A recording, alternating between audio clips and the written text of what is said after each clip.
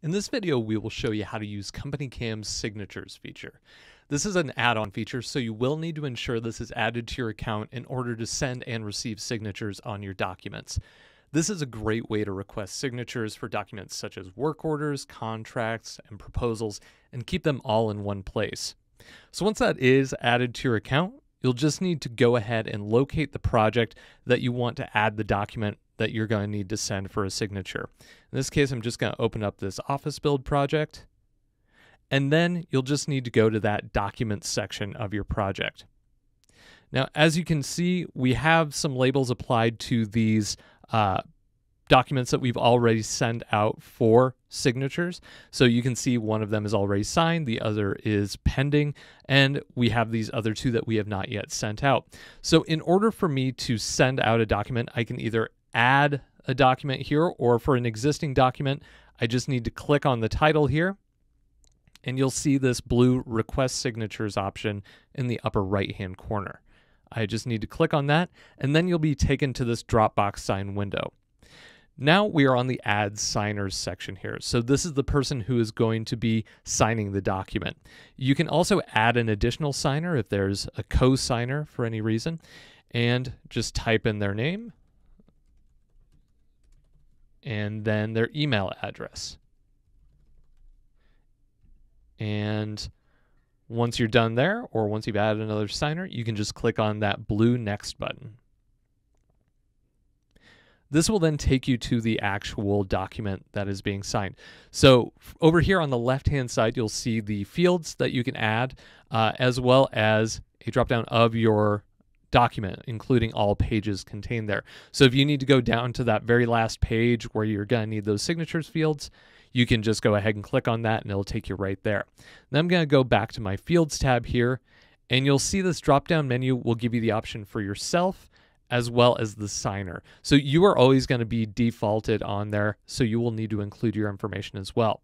So I'm just going to click on me and then you'll see that I, as the constructor, need to go ahead and add those fields on here.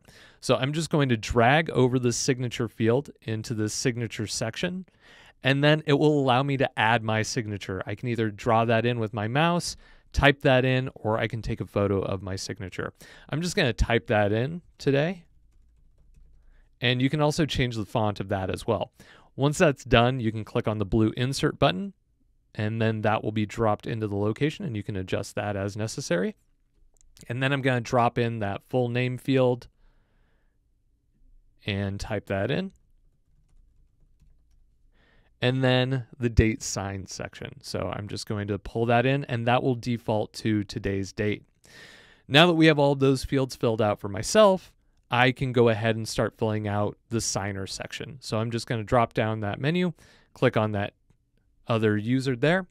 And then I'm going to pull over the signature field here.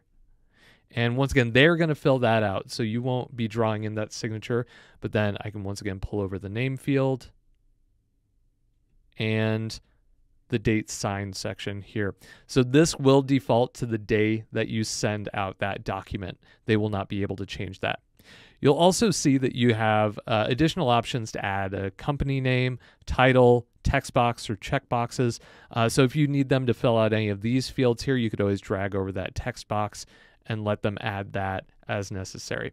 So you'll also see on the right hand side, you do have the option to format that into a different font or a different font size. You'll also see that you have this field name here. This is for backend purposes only. Nothing you need to do there. You can leave that alone. So once you have those fields filled out, you can go ahead and click that next button. Now, if I needed to add an additional signer or something to that effect, I can always click on that back button and add that signer after uh, I filled out those fields there. And then once again, just click on my next button and you'll see that that information is going to be saved. So I don't have an additional signer in this case, so I'm just going to click on that blue next button and then we are going to send that out for signature. So I can CC any required recipients on there, and then I will be able to fill out my subject heading as well as my message. So we'll get that filled out. And then Do note that your subject field will be the name of the document that you are sending out. So you may need to establish a specific naming convention, uh, either the project name, the address, uh, basically whatever you would typically name your documents. So once I'm done there, all I need to do is click on this blue send for signature button and you'll see that that has been sent. And then I can go back to my documents and you'll see that I now have that signature pending label applied to the document until that is signed.